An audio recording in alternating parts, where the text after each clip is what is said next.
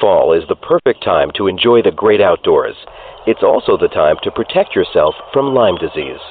Lyme disease is uh, transmitted to humans through the bite of a deer tick. The transmission usually occurs within the course of about 24 hours.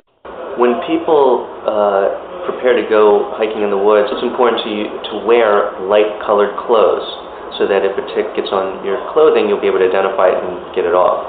It's important to use long sleeve, uh, long sleeve shirts, long pants, and I recommend tucking the pants into the socks. It's also important to stick to trails and avoid overgrown brush. In some cases, people may want to consider using a repellent that contains DEET. I think during trips, it would be a good idea to apply DEET to shoes, socks, and the bottoms of clothing.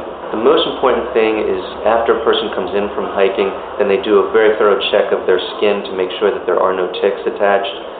If you found a tick on your body, would you know how to remove anything like baby oil, petroleum jelly, or a hot match to force the tick out of your skin? If it's removed incorrectly, you can actually force the Lyme to get into the body.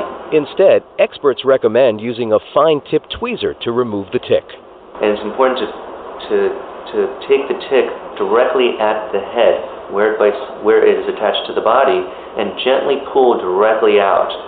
If you live in an area where Lyme disease is common, you may want to bring the tick in to your doctor to have it tested.